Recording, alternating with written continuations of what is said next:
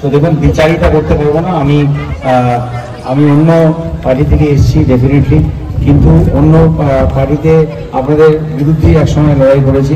কিন্তু এটা সবচেয়ে বড় সত্যি কথা ওই বিরুদ্ধ পার্টি থেকে এসেছি, সেটা বলে আমার বক্তব্য শুরু এই জন্যই করছি যে ওই পার্টিতে, ওই পার্টি বাংলার মনন বোঝে না, বাংলার হৃদয় বোঝে না, বাংলা কীভাবে ভালো পারে না না, বাঙালিকে বোঝে না। এবং সবচেয়ে বড় কথা, কোনো বাঙালিকে তারা শক্তিশালী হয়ে তারা এগিয়ে যেতে দেয় না। এবং সেই জন্যই তাদের যত রাগ পশ্চিমবঙ্গের উপরে, আমাদের ভারতবর্ষের একমাত্র মহিলা মুখ্যমন্ত্রী, তিনি যেভাবে পপুলার হয়েছেন বা একের পর এক নির্বাচনে জিতছেন, একুশে যে অবস্থা হয়েছিল তারপরেও তারা তাদের যেমন এগোতে দেয়নি, তেমনি মাঝপথে আমারও হাত পা কেটে নিয়েছিল যত, যখন তারা বুঝেছিল যে আমি ভালো কাজ করেছি এবং মানুষের ভোটে জিতে আসছি।